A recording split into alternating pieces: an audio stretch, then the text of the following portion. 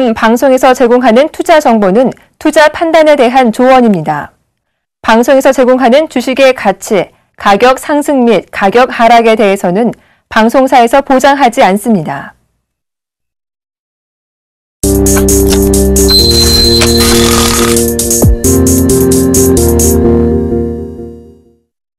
시청자 여러분 안녕하십니까 오늘장 내일장의 김동현입니다. 현재 코스피와 코스닥 지수 모두 상승 흐름 보이고 있습니다. 현재 코스피 지수는 1964포인트에서 거래 중이고요. 외국인과 기관이 동반 순 매수해주고 있습니다.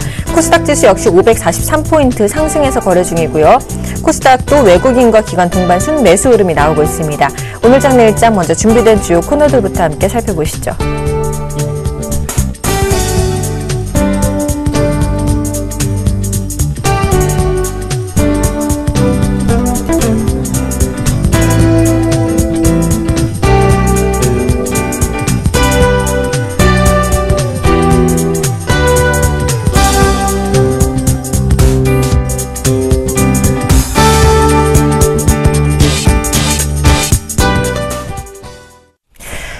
잃은 종목 또 죽어있는 종목의 생명을 불어넣어주는 코너죠. 샘플러스 이드코멘트와 함께 자세한 얘기 나눠보겠습니다. 안녕하십니까? 반갑습니다. 네, 반갑습니다. 오늘 이드코멘토님께서 심폐소생 시켜줄 만한 사연은 어떤 종목일지 굉장히 궁금한데요. 바로 소개해 주시죠. 네, 어, 일단 오늘 지수 흐름이 뭐 크게 어, 없는 그런 상황이죠. 역시나 전일 하락했던 것에 대한 되돌림이 어느 정도 나오고 있는 그런 상황이지만은 어, 큰 폭의 상승 흐름을 갖고 지수가 움직이는 것은 아니기 때문에 남은 시간은 한 템포 쉬어가시는 전략도 좋지 않은 아, 방법이지 않나 싶습니다. 자, 어, 여러분들의 사연, 어, 우리 CPR의 참여 방법이 있죠. 어, 3153-2611번, 3153-2611번 다시 2번으로 전화를 주시면은 긴급적으로 심폐소생 할 수 있는 종목들에 대한 아, 진단해드리니까 우리 시청자분들의 많은 아, 참여를 부탁드린다라고 좀 말씀을 드리겠습니다. 자, 오늘도 사연이 또 올라와 있죠. 어, 이분은 제가 개인적으로 아시는 분인데 아, 올려주셨네요. 필명이 아, 수금님께서 잉크테크에 대한 사연을 올려주셨습니다. 자, 읽어보도록 하면은 아, 잉크테크가 보유한 지 꽤 되었습니다. 평균 단가가 13,530원, 마이너스 25% 정도 됩니다.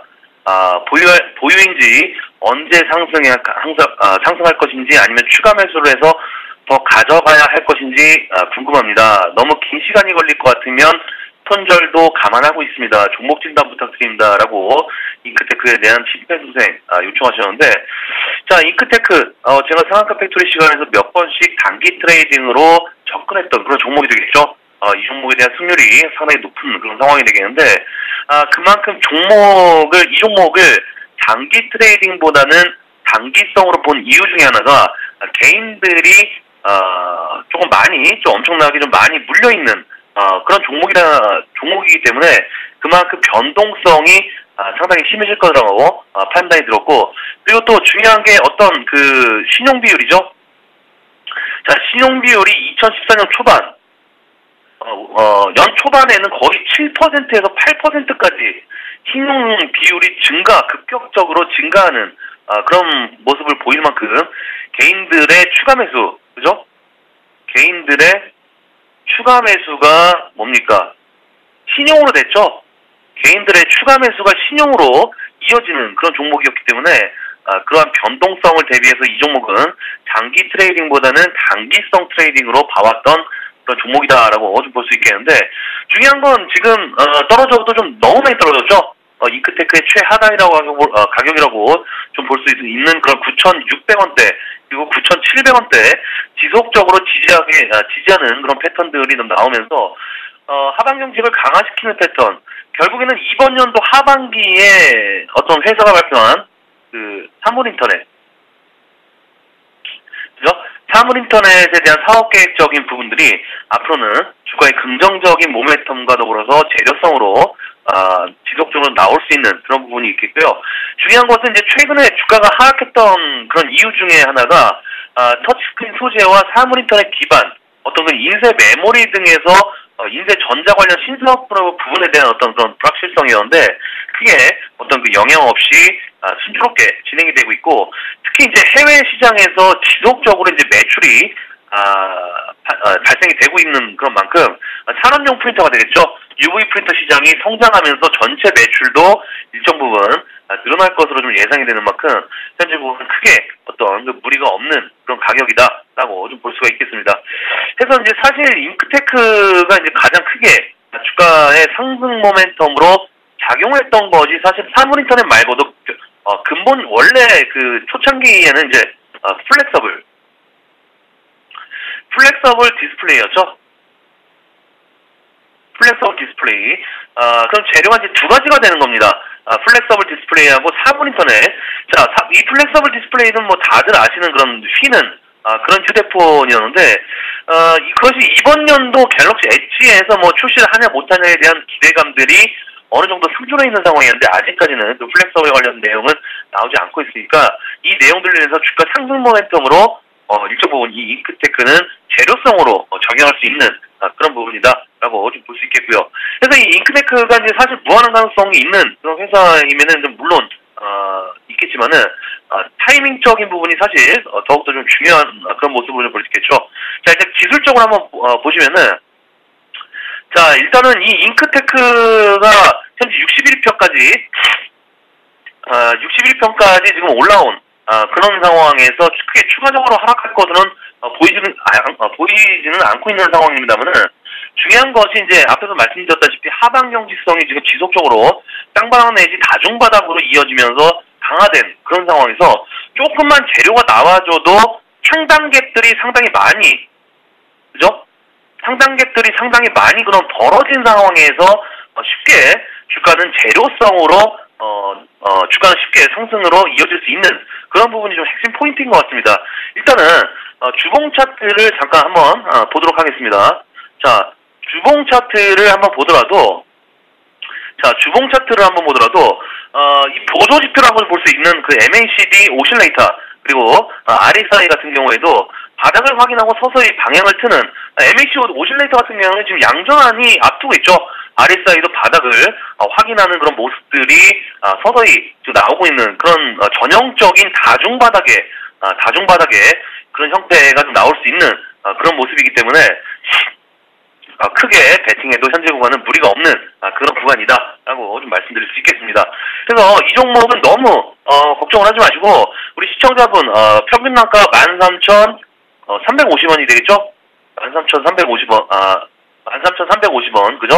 13,350원이 되겠는데, 어, 이 가격권에서, 어, 제가 이제 말씀드리고 싶은 부분은 최대한, 평단가를 최대한 만원 구간까지 낮춰주시길 바라겠습니다.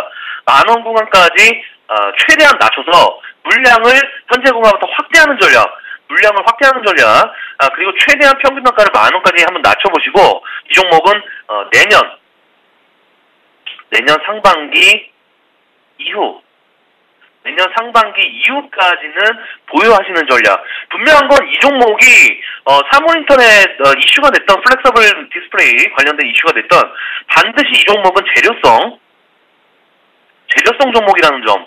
어, 그 점을 인지를 하시고 어, 내년 상반기 이후까지는 보유하시는 전략 아, 아, 말씀드린다라고 좀 말씀을 드리겠고요. 어, 이 종목 반드시 이제 재료성으로 상승 구도가 나올 수 있는 그런 종목이라는 점 잊지 마시고 추가 매수해서 물량을 확대하는 전략 구사하자. 그리고 신규 매수 대기자분들께서도 어, 정말 현금이 있는데 살 게 없다 하시는 분들은 이 종목에 대한 장기 성장성을 한번 믿어보시고 만 원 언저리 구간에서는 눌림, 눌림 매수, 그죠? 만원 언저리 구간에서는 눌림 매수, 상승 시 비중 확대 전략으로 해서 자, 어, 16,000원 정도까지는 내년 아, 상반 상반기까지 홀딩해 보는 전략 충분히 유효하지 않을까라고 좀 말씀드리면서 상승기를 팍팍 드린다라고 말씀을 드리겠습니다. 자 그리고 어, 최근에 이제 어, CPR을 통해서 나왔던 종목 중에 게임비가 컴투스가 있죠. 어, 게임비가 컴투스가 있는데 그 중에서 게임빌 아, 게임빌 대응하시는 분들은 오늘 전략 매도하는 그런 전략으로 해서 아, 매도 처리를 하자라고 좀 말씀을 드리면서 정리를 해드리도록 하겠습니다. 자, 오늘은 이도크 멘토님께서 CPR 종목으로 잉크테크를 소개해 주셨습니다. 이도크 CPR에서 여러분들의 사연 받고 있는 거 아시죠? 단순히 종목 상담 코너가 아닙니다. 이 종목에 대한 적정 매수가까지 잡아주시니까요. 우리 시청자 여러분들께서 많은 참여 부탁드리겠습니다. 지금까지 샘플러스 이도크 멘토와 함께 했습니다.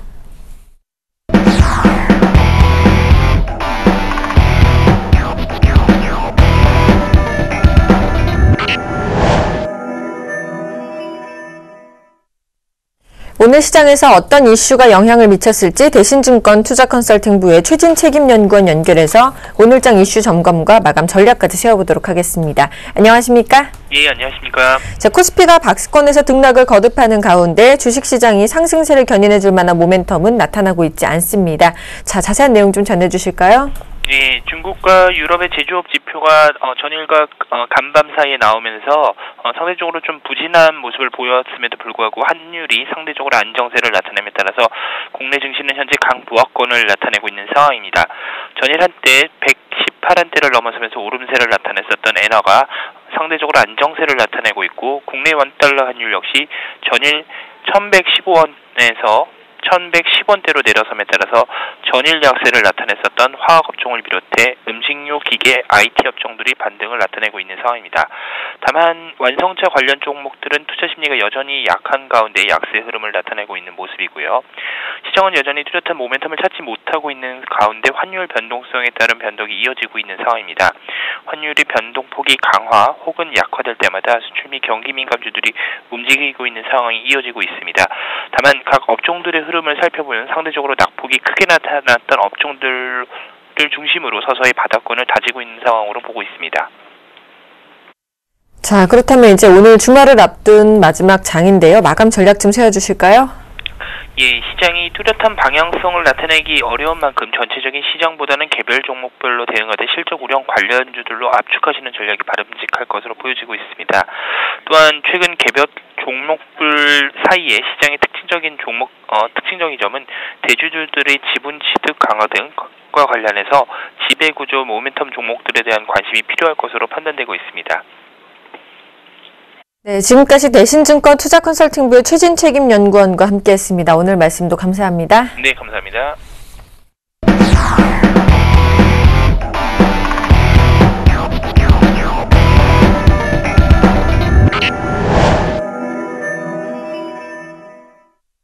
김지욱의 종목 돋보기 시간입니다. 오늘도 샘플러스의 김지욱 멘토와 함께 자세한 얘기 나눠보겠습니다. 안녕하십니까? 네, 안녕하세요.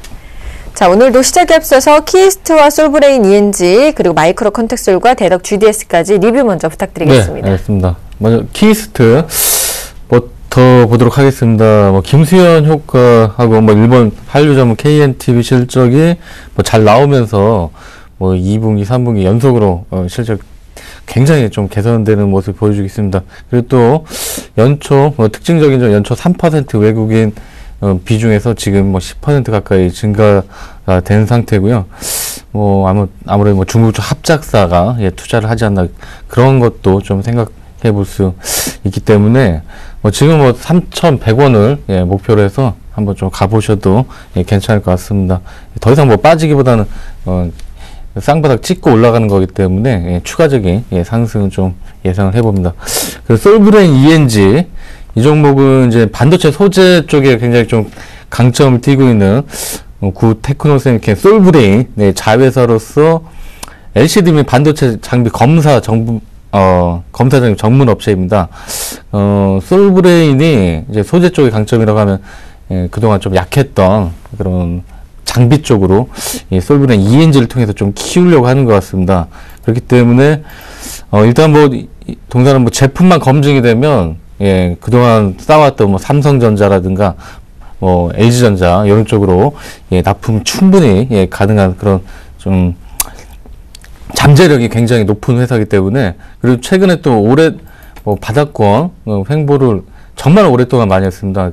한 거의 뭐한 한 4년 예, 가까이 예, 바닥만 기다가 이제 거래가 예, 생기기 시작했기 때문에 뭐 위아래 변동폭이 심하다고 하더라도 예, 쉽게 팔 종목은 좀 아닌 것 같습니다. 예, 한번 이런 종목 움직이면 크게 예, 한번 먹을 수 있기 때문에 지금은 예, 좀 실적도 좀 개선되는 모습 보여주고 또 뭐 매출도 뭐 중국 쪽에서 계속 나오고 있는 걸 놓고 봤을 때 한번 좀 기대를 해보셔도 괜찮을 것 같습니다.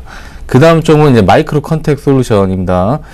어, 반도체 및 SS 검사, 예, 소켓 제조사고, 예, 소모성 부품이기 때문에 매출이 굉장히 좀 안정적으로 좀 이어지고 있습니다.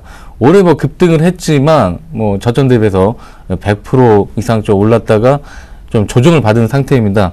말씀드렸다시피 12,000 이하에서는, 어, 단기적인 또 메리트가 있는 구간이기 때문에 12,000 이하에서 조정식 공략을 하- 한 다음에 또 12, 15,000원 정도 박스권 상단에서는 또 파는 전략 이런 전략을 하면 어, 당분간은 예, 동정부에서 좀 수익을 낼 수 있을 것으로 보여집니다. 그리고 제 다음 점은 대덕 지대했습니다. 국내 뭐 대표 뭐 세, 세계적인 뭐 PCB, FPCB 생산업체고요. 40년 동안 이 업황에 종사를 해왔기 때문에 어 그런 뭐 제조 기, 기술이라든가 그런 수익률은 삼성전자 그렇게 좀 안 좋았음에도 불구하고 여전히 이익률 어느 정도 나고 있습니다. 삼성전자 조금만 회복이 되면 동사가 가장 큰 수혜를 입을 수가 있고요. 뭐 최근에 뭐 이런 종목들 뭐 파트론부터 해서 굉장히 좀 어, 밑에서 충분히 조정받고 많이 올라가고 있습니다. 그렇기 때문에 대덕 지대에서도 한번 좀 기대를 해보셔도 예, 괜찮을 것 같습니다. 지금 뭐 구간 예, 들어가셔도 뭐 크게 무리는 없고요. 어, 14,000원대는 한번 예, 기- 기록할 것으로 보여집니다. 네, 그렇다면 이제 오늘장 공략주는 어떤 종목들 준비해 오셨는지 궁금한데요. 바로 소개해 주실까요? 예, 오늘도 뭐 종목 이렇게 가리지 않고 여러 가지 한번 예, 골라봤습니다. 예, 첫 번째 점은 동성하이캠입니다. 동성하이캠. 동성하이캠은 아, 중소형 석유 뭐 정밀화학 업체인데 뭐 일, 일단 뭐 석유화학 쪽은 별로 좋지는 않습니다. 하지만 동사는 2000뭐 10년도부터 계속 꾸준하게 예, 영업이익률도 많이 10% 20% 최근에 뭐 20% 가까이 될 정도로 굉장히 좀 고부가가치 예, 화학 사업을 하고 있습니다. 예, 불황에도 불구하고 계속 수익률을 유지를 하고 있고요. 그리고 뭐, 뭐 올해 들어서도 뭐 지속적인 기간 매수세가 좀 유입이 됐고요. 올해 예상 PE 현재 7배에서 8배 정도고 어, 기간 쪽이 뭐 거의 하루도 안 빠지고 조금이라도 예, 살 정도고 최근에 또 외국인까지도 예, 매매 가세를 하기 시작했습니다. 뭐 장기적으로 예, 동사가 좀 오른 것도 딱히 없기 때문에 어, 사실 뭐 떨어져도 한 6천 원 올라가면 7천 원 되기 때문에 한번 이런 종목이 어, 상승 뭐 박스권 돌파를 하면 그때부터는 어, 상승 흐름이 굉장히 좀 가파라질 수가 있습니다.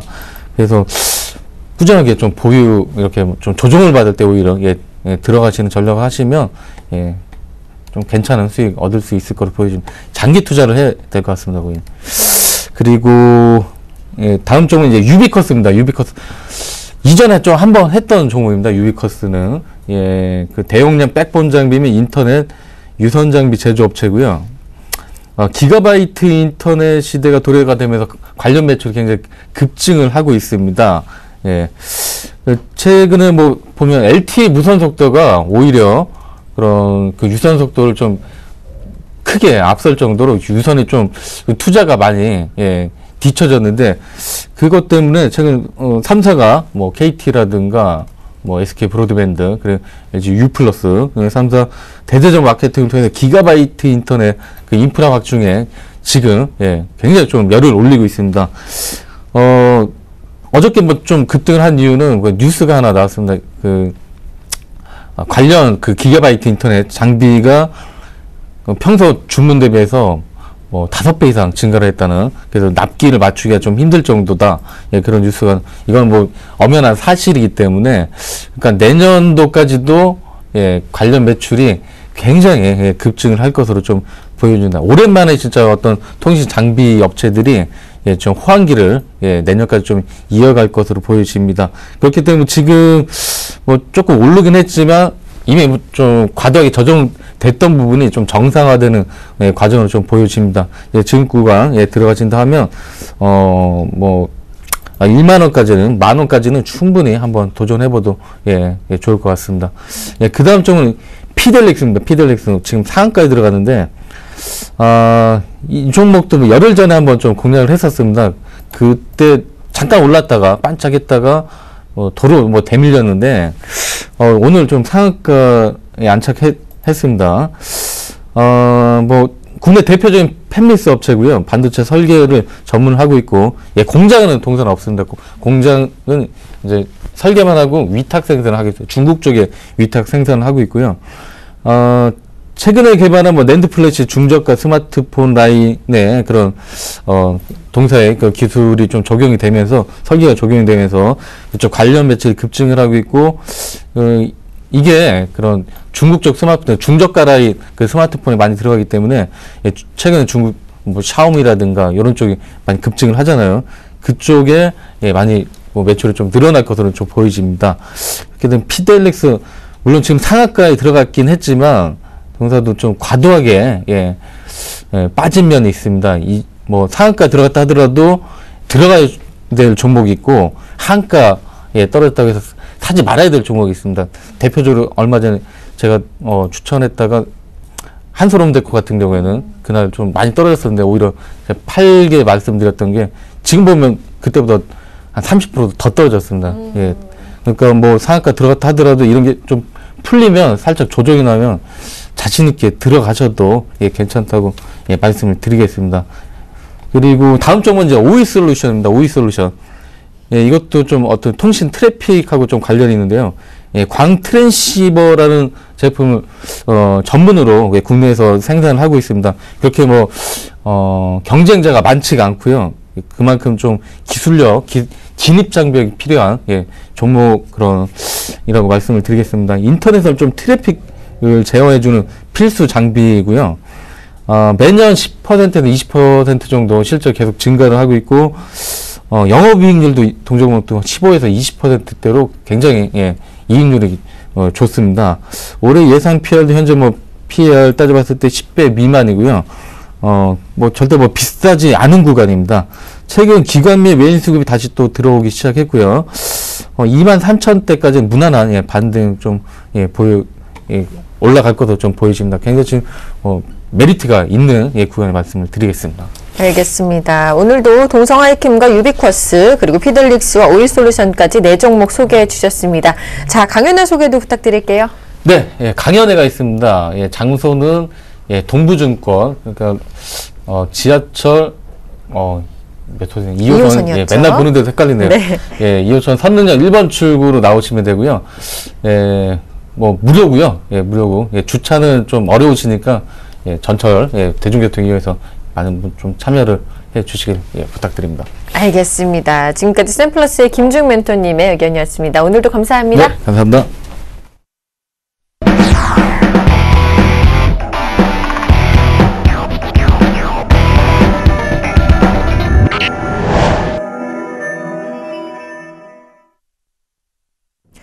정윤선의 후방통 시간입니다. 자세한 내용 유한타증권의 정유성 PB님과 함께하겠습니다. 안녕하십니까? 예, 안녕하십니까. 자, 오늘 중국 시장 상황은 어떤가요? 우리 시장은 좀 재미가 없는 시장인데요. 중국은 어떤가요? 예, 중국은 재밌습니다. 어, 먼저 상해 종합지수, 홍콩 H지수 모두 어, 강박권의 모습을 보여주고 있습니다. 특히 두 시장이 모두 이렇게 강세인 적은 지금 후강통이 시작된 지가 이제 월화수목 금 이제 5일째 되고 있는데요. 어, 5일 동안에 두 시장 모두 강세 인 적은 처음입니다. 어, 우선 대부분 강보합권의 모습을 보여주고 있는 그런 상황이고요. 좀 섹터별로 보시겠는데요. 먼저 상해 시장 보시겠습니다. 보시는 바와 같이 대부분 업종이 강세의 움직임 보여주고 있습니다. 가장 쪽 증권 업종 보실 수 있겠습니다. 초상증권이 오늘 상한가입니다. 상해 시장 10%가 상한가라고 말씀드렸죠. 어, 초상증권 상, 어, 강박권의 어, 상한가 모습이고요. 해통증권 4%대, 중신증권 3%, 신화보험 같은 보험주들 3%대 강세 움직임 보여주고 있습니다. 어, 이 밖에도 뭐 그쪽 어, 중국 소상품 같은 경우도 9%대 강한 모습 보여주고 있고요. 어, 전산 쪽, 특히 IT 쪽이라든지 소프트웨어 쪽인 인민망이나 어, 환욱전자 같은 경우도 강보권의 모습을 보여주고 있습니다. 홍콩 시장 보시겠는데 홍콩 시장은 어 상해 시장보다 조금 약한 모습이 있죠. 그러다 보니까 파란불이 조금씩 보이고 있는데요. 대체적으로 지금 소재 쪽이 강한 모습 보여주고 있습니다. 어, 강서동업, 낙양 몰리부덴, 어, 화윤 시멘트 같은 경우가 1%의 강세 움직임 보여주고 있고요. 어, 제약주들 좀 약한 모습인데요. 어, 우선은 어, 금천제약 2.4% 밀리고 있고요. 또한 그런 어 유가공 그러니까 어 소 목장에서 원유를 제공하고 있는 현대 목업 같은 경우는 마이너스 4%에 밀리고 있는 모습 볼 수가 있고요. 오늘 홍콩 시장 강한 가장 강한 쪽은 어 에너지 쪽 섹터입니다. 어 SPT 에너지 같은 경우는 13% 올라가고 있고요. 어 안동유전 같은 경우도 15% 대부분의 종목들 강보합권의 모습을 보여주고 있는 상황입니다. 네, 오늘은 어떤 종목 소개해 주실 건가요? 기대가 굉장히 많이 됩니다. 예, 뭐, 뭐 항상 좀 좋은 종목도 제가 많이 소개해드리고 있는데요. 오늘은 어, 상해 해박을 말씀드리겠습니다. 상해에 상장이 돼 있고요. 코드 번호는 600708 화면입니다. 상해 해박 왜 좋을까요? 우선은 어, 어, 며칠 전에 에이펙이 끝났죠. 에이펙이 때 어, 시진핑이 가장 크게 걱정했던 부분은 각 정상이 오는데 어, 공기가 너무 안 좋은 겁니다. 그러니까 뭐 각국 정상들 왔는데 뭐 기침하고 그러면 굉장히 무한하겠죠. 중국 입장에서. 그러다 보니까 어, 중국을 한다면 하는 나라거든요. 그러다 보니까 승용차를 2부제를 실시했습니다. 그 말 뜻은 자동차가 전부 다 다니다가 갑자기 반 이상이 줄었다는 거죠. 어, 2부제. 반 이상은 못 다니겠다는 뜻인데, 그러다 보니까 이제, 어, 북경 쪽에 대해서, 어, 공기가 상당히 맑아졌던 부분을 볼 수가 있는데, 앞으로도 이런 거는 에이펙 같은 큰 행사가 있지 않더라도 미리미리 대처할 것으로 보여지고 있습니다. 그러다 보니까 앞으로도 상해박 같은 기업, 어, 이 회사 같은 경우는 지금 뭐 택시 같은 것들을 이제 임대를 해주는 그런 사업을 하고 있습니다. 그러다 보니까 어, 상해라든지 북경 같은 대도시뿐만이 아니라 일선 도시들도 중심으로 해서 자동차를 사는 거에 대해서 중국 정부가 제재를 가할 가능성이 굉장히 크다라고 볼 수 있고요. 그러다 보면 앞으로도 며칠 전에 소개했던 신주 렌터카 지금 주가도 많이 오르고 있죠. 그런 렌터카 업체라든지 아니면 상해박 같은 택시라든지 그런 사업을 하거나 임대를 해주는 그런 업체 같은 경우 상당히 어 굉장히 앞으로 커질 가능성이 크다라고 볼 수 있을 것 같습니다. 특히 상해박 같은 경우 그 외에도 어, 전자상거래 쪽을 하고 있습니다. 특히나 냉장물류 쪽이 온라인으로 해서 어, 배송을 해주는 서비스를 하고 있는데 이 부분이 매출 부증이 40%에 육박을 하기 때문에 앞으로 이런 쪽에 대한 종목은 눈여겨 보셔야 될 것 같습니다. 네, 오늘은요, 상해 해박이라는 종목을 소개해 주셨습니다. 지금까지 유한타증권의 정유성 PB님과 함께 했습니다. 오늘도 감사합니다. 예, 감사합니다.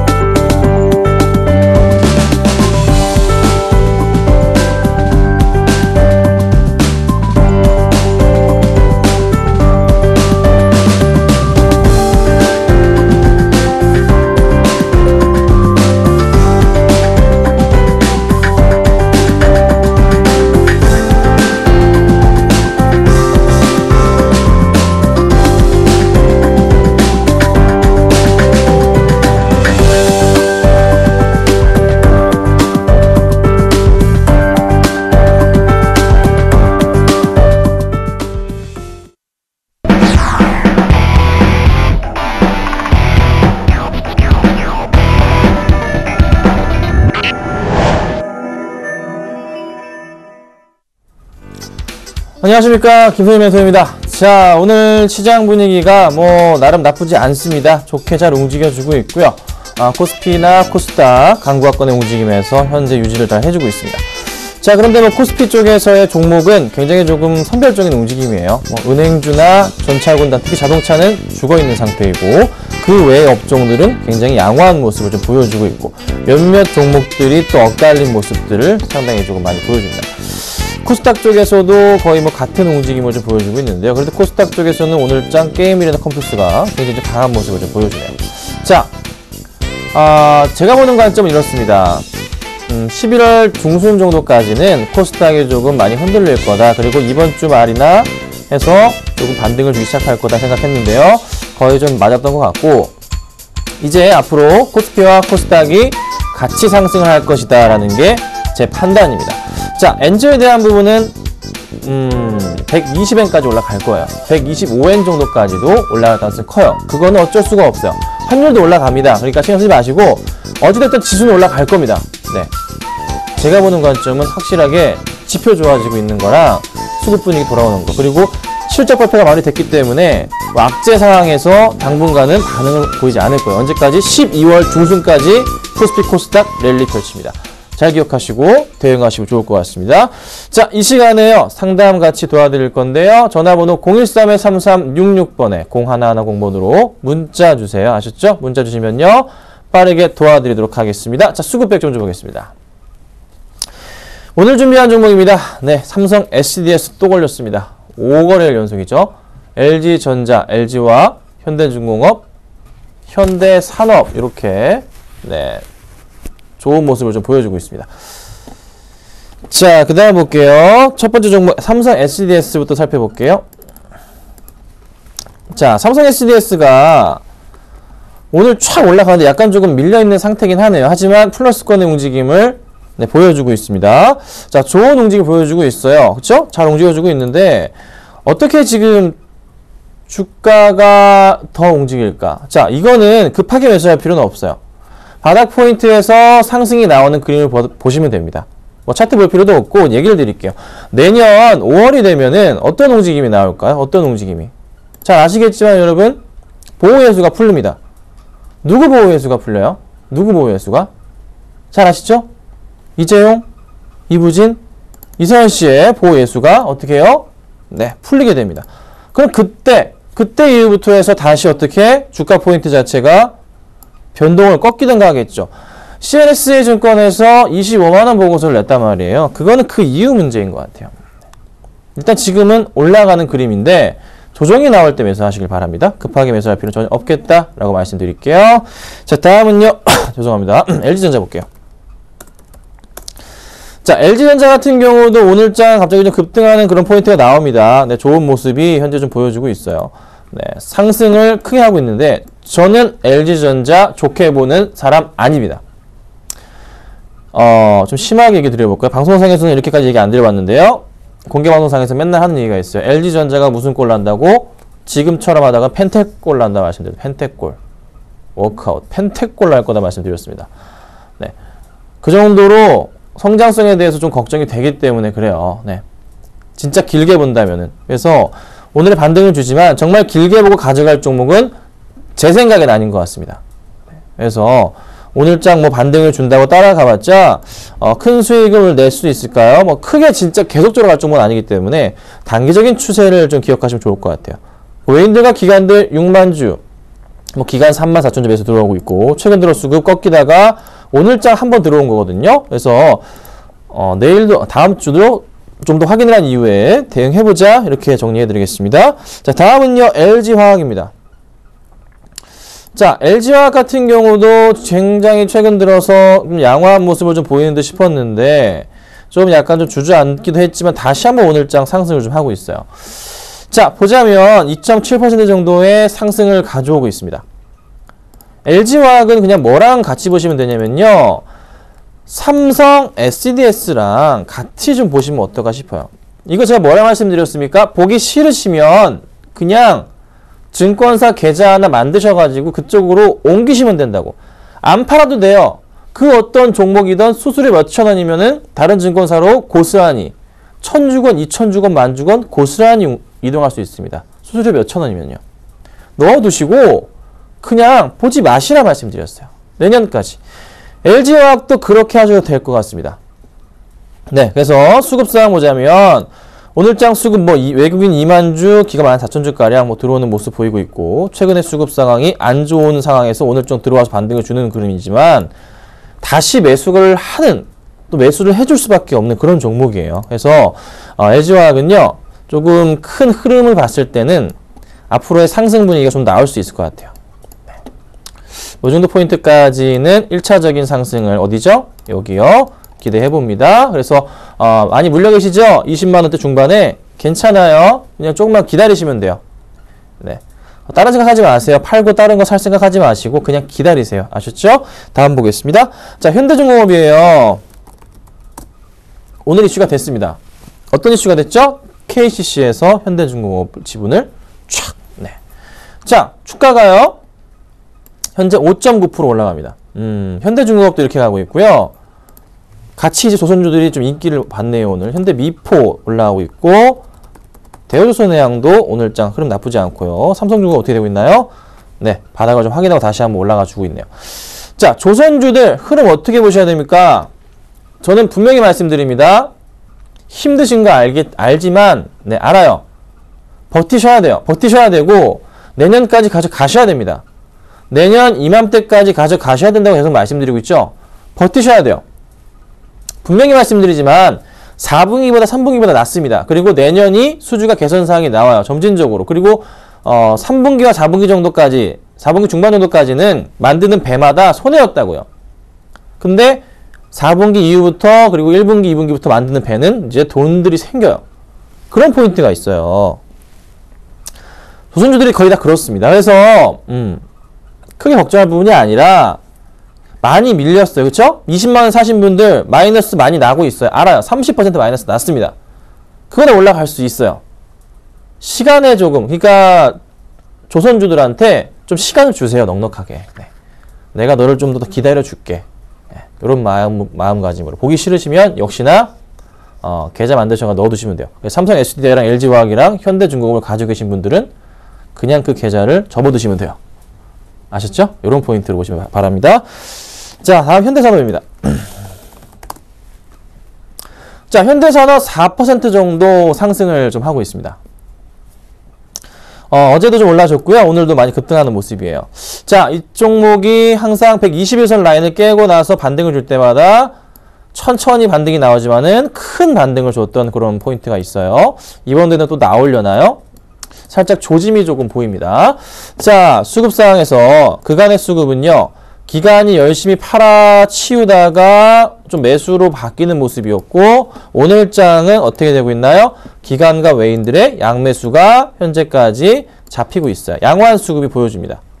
자, 상승을 준비하는 최근에 언제 기관들이 언제 샀죠? 여기서 샀죠. 여기서 네, 여기 샀어요. 확대하겠습니다. 여기 샀어요. 그리고 어떻게 해요? 또 사요. 상승적 분위기 나오겠죠. 이럴 경우는 주가가 보통 어디까지 간다고 제가 누누이 말씀을 드렸나요? 요렇게.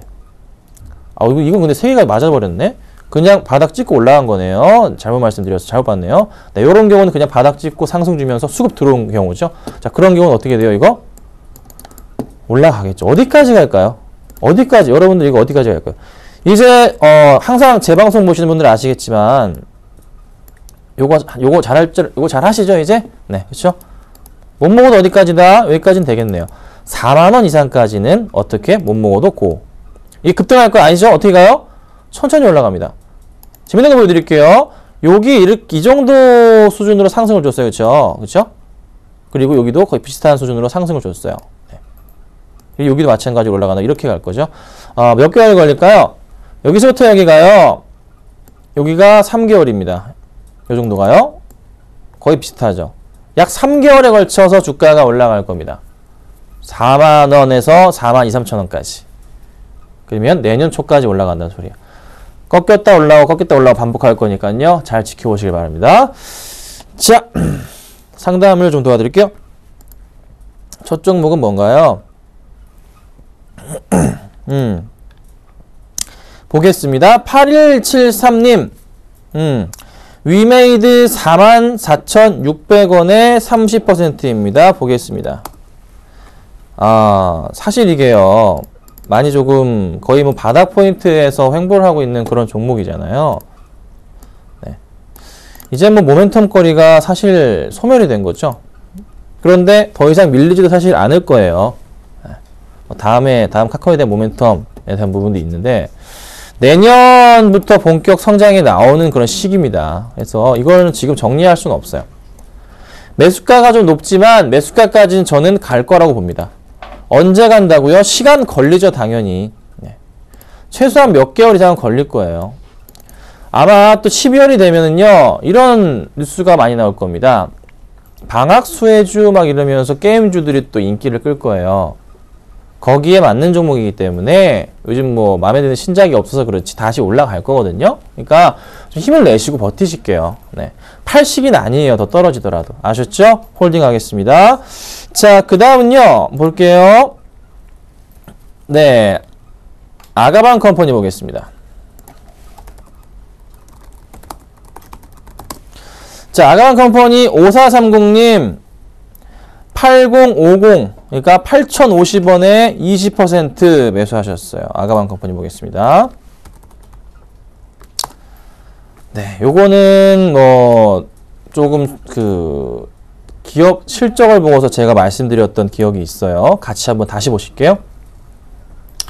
적자로 돌아섰다고 말씀드렸습니다. 네, 그래서 조금은 매수하기에는 약간 좀 꺼름직한 종목이라고 여러 번 말씀드렸어요. 3분기 실적, 4분기 실적이 아무리 좋게 나와도 작년 실적 못 넘어간다고요. 작년 실적을 못 넘어간다고요. 그게 그게 조금 위험하다. 그래서 말씀을 드렸었던 기억이 제가 나는데요. 그렇죠? 기억들 하실 거예요. 90억 적자고요. 안 좋죠.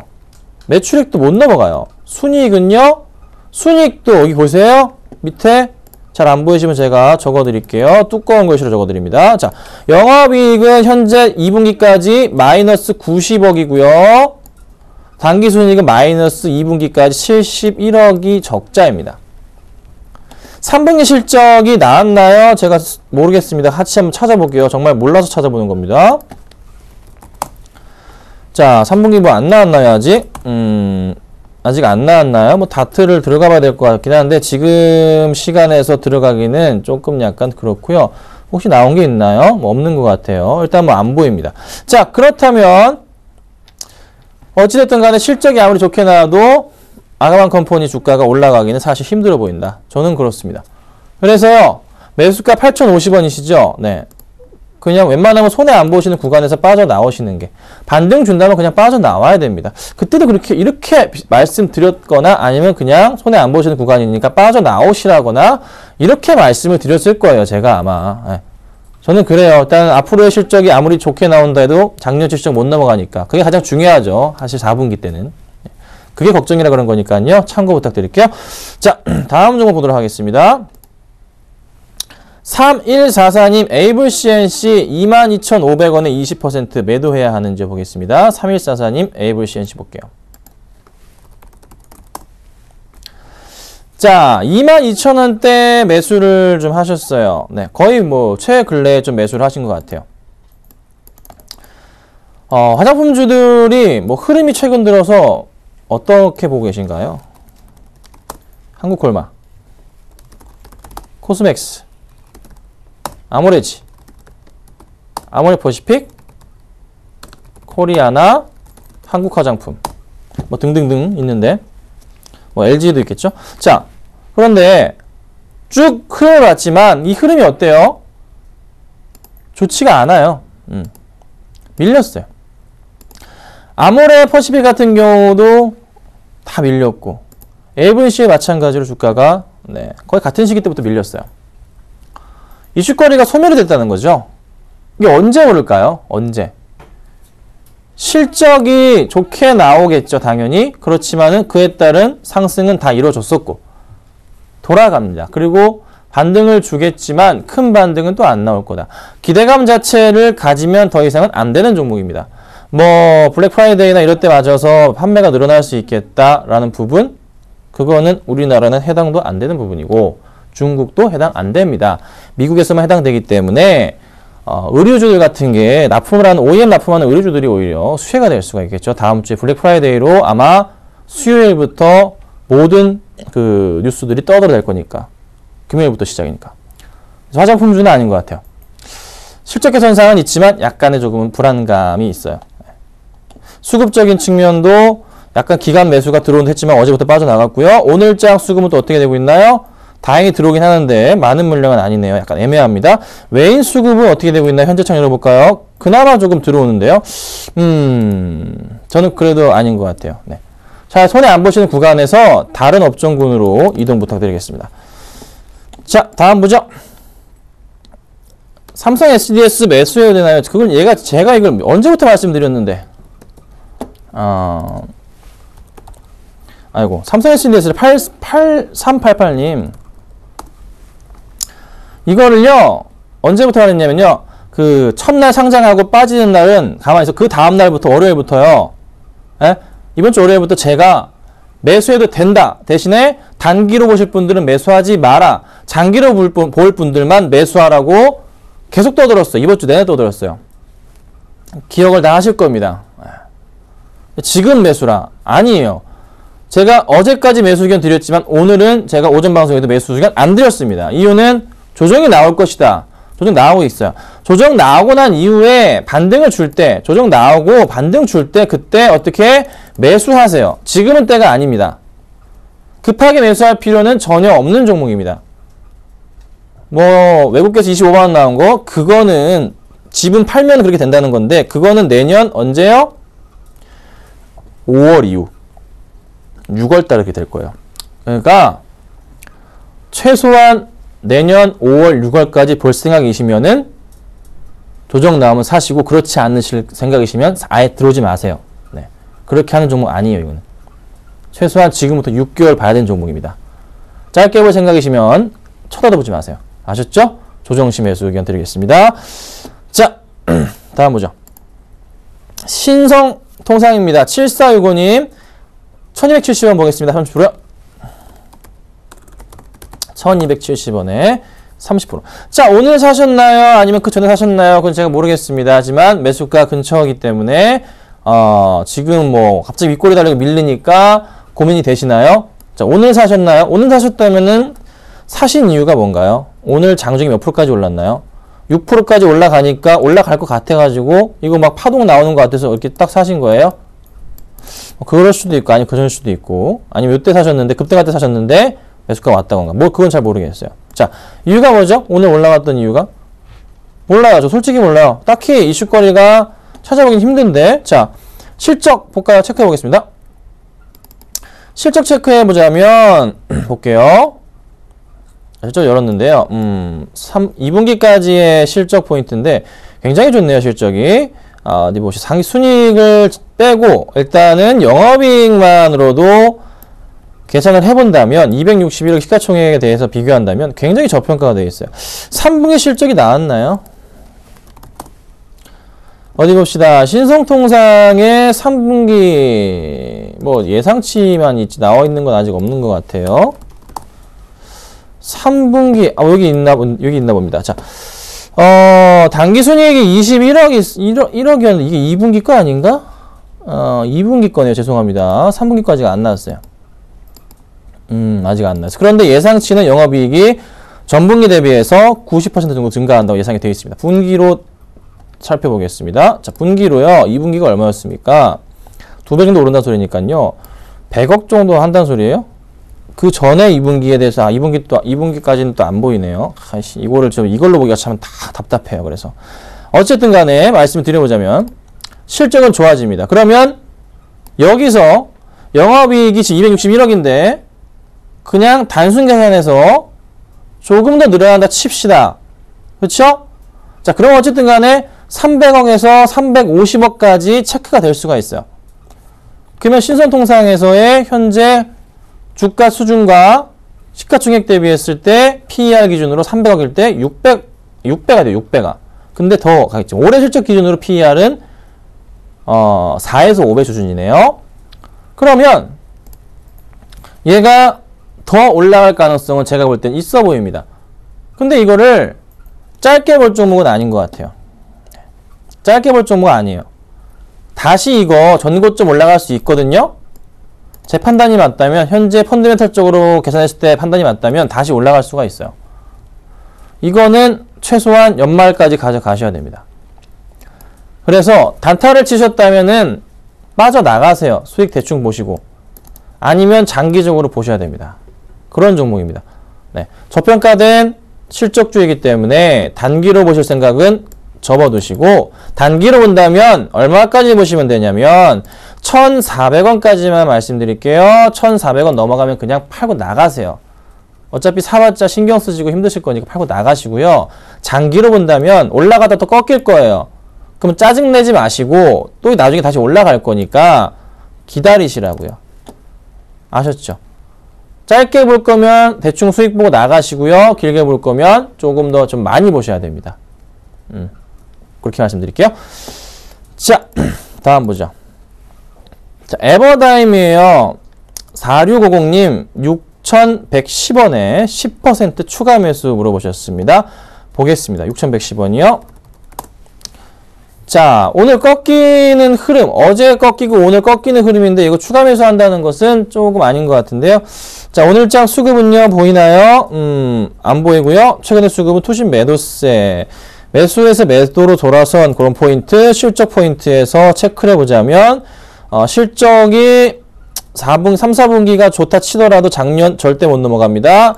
그래서 어떻게 이거는 저는 매도 의견 드리겠습니다. 추가 매수가 아니고요. 매도 의견 드릴게요. 매도. 딱 차트 봐도 이거네요. 딱. 딱 이 모양인데. 이거 뭐예요? 매도. 추가 매수가 아니고 그냥 매도하세요. 아셨죠? 다음 보겠습니다. 다음 현대차인데요. 보겠습니다. 0719님 현대차 19만 6천원 70% 언제까지 가져가 되냐면요. 팔고 나오셔야 되는데요. 못 갑니다. 못 가요. 못 간다고요. 한중 FTA 뉴질랜드 수혜주 아닙니다. 그리고요. 어, 아슬란드 혹평이고 LF스나 다안 팔려요.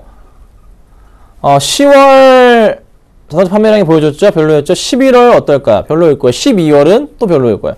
그러면 현대차가 실적이 4분기 때 어떻게 해요? 만만치 않아요. 파업 여파도 있고. 악재 투성이에요. 네.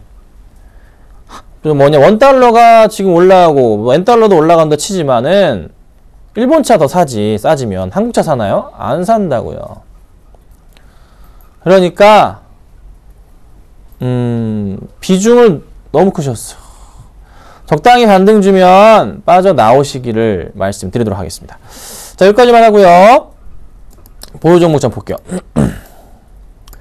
자, 보유 종목이 하나 있죠? 살펴보겠습니다. 오늘 많이 빠졌어요. 네, 볼게요.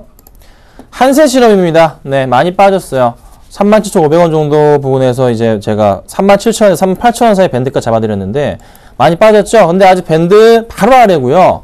반등 줄 수 있어요. 왜냐하면 3분기 실적이 워낙에 좋은 종목입니다. 그렇죠? 오늘 수급이 좀 꼬여서 그래요.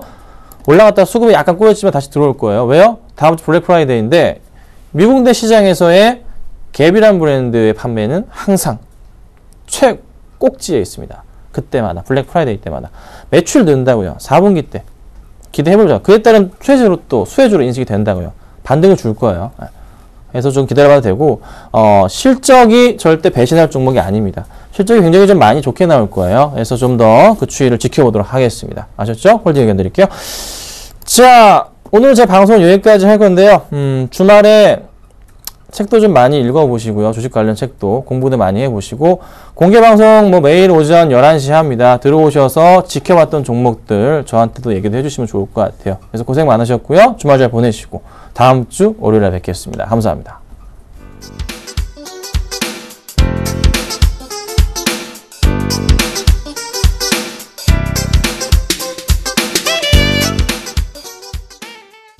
장 마감까지 7분여 정도 앞두고 있습니다. 현재 코스피 지수 1965포인트에서 마감이 예상되고 있고요. 코스닥 지수도 543포인트 상승 마감이 예상됩니다. 오늘 장 내 일장 오늘 준비한 소식 여기까지입니다. 시청해주신 여러분 감사합니다.